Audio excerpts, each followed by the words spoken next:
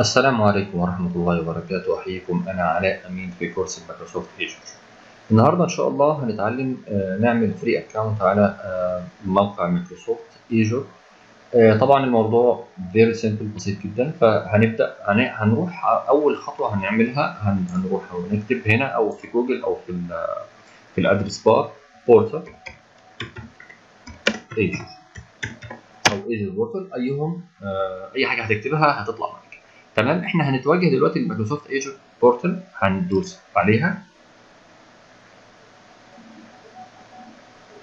okay دي ال portal أو ال- ال- ال page بتاع Microsoft Azure من هنا آه، هن- هنختار آه، طبعا لو عندك account already على Azure فهتعمل sign in لو ما عندكش وفي حالتنا آه، اللي هي ديت هنعمل في account إحنا داخلين أساسا create account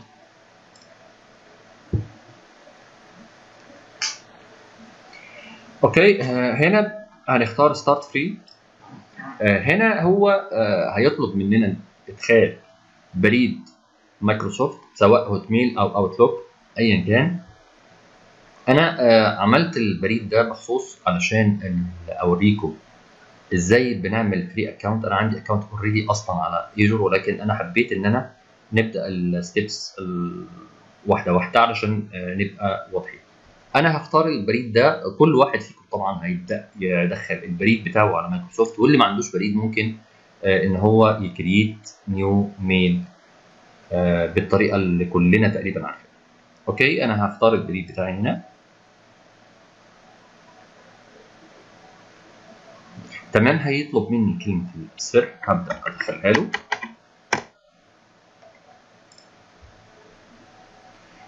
تمام؟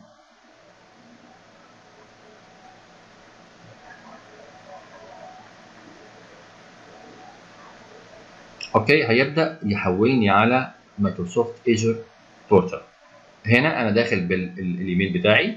كل واحد فيكم طبعا هيبدأ آه، يدخل بالايميل زي ما آه، اتكلمنا قبل كده.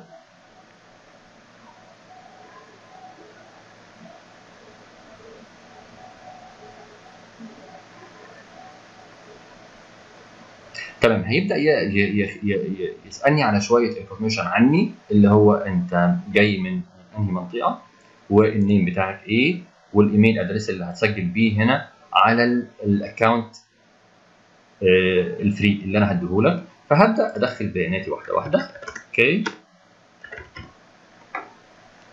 الإيميل بتاعي ms az co at hot mail dot com هنا هيسألني على ال- ال company اللي أنا شغال فيها. أنت ممكن تكتب أي حاجة أو ممكن تتعداها ما عندكش أي مشكلة خالص. ولكن إحنا إيه لو دخلنا كمان هنا لو ضغطنا هنا هيبدأ يقول لي إيه إن دي ال VAT أو ال- الضريبه ضريبة القيمه المضافة. آه، لو آه، أنت في بلد مطبقة القانون فلازم تكتب هنا الرقم الضريبي بتاع شركتك. طبعا هو ما أعتقدش أنا شخصيا ما أعرفش الرقم الضريبي بتاع شركتي إيه مع إني في دولة بتطبق الفات فأنا هتخطى الستبس ديت وهبدأ أقول له نكست آه التليفون لازم لازم تكتب آه، رقم تليفونك وفي الحالة دي أنا هكتب رقم التليفون بتاعي وكل واحد فيكم طبعا هيكتب رقم التليفون بتاعه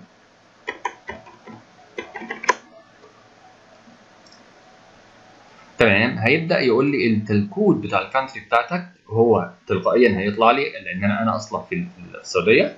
وهقول له آه، ابعت لي ال activation code على الرقم اللي أنا دخلته لك ده آه، سواء برسالة نصية أو باتصال صوتي. فأنا طبعا هقول له رسالة نصية. تمام الرسالة وصلت أهي.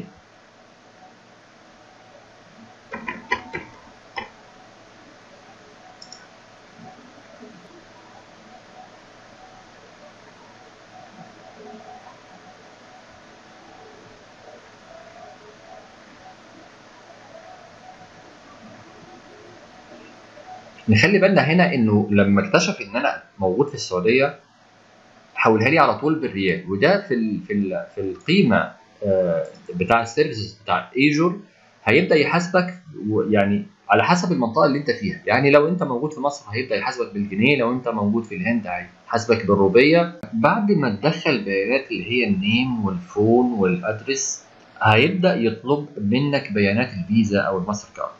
الخطوة دي مهمة جدا يا شباب ولازم نكون عارفين حاجتين مهمين جدا. Microsoft Azure مش هتقبل منك الفيزا مسبق الدفع. لو معاك فيزا مسبق الدفع مايكروسوفت مش هتقبلها. دي أول حاجة. تاني حاجة إنه أصلا مش هيديك ال free account إلا بوجود معاك فيزا. يعني لو ما مش معاك فيزا الخطوة دي مايكروسوفت مش هتديك ال free account إلا بإدخال بيانات فيزا صحيح. ونوع الفيزا يكون credit مش مسبق الدفع. okay آه في الخطوة دي أنا هبدأ أكتب البيانات بتاعتي اللي هو ال holder name وال card number وال expire والكود التحقق وال وال والعنوان وكل شيء. تمام؟ آه هنا اللي ما معهوش postal code يكتب يكتب أي خمس أرقام أو أي خمس اصفار هو هيقبلها معاه. وهنا يختار ال ال ال ال region أو المنطقة اللي هي مصدرة لل card نفسه.